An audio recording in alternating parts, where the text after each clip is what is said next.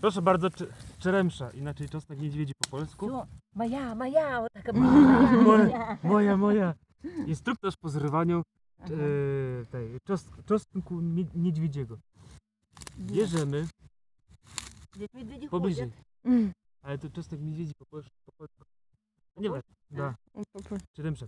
A, Bierzemy e, jedno źdźbełko. Widno dobrze, proszę. Dobrze? Dobrze widać. Bierzemy jedno źdźbełko czeremszy, e, czos, czosnku. Wybijamy się do korzonka patyczkiem. patyczkiem.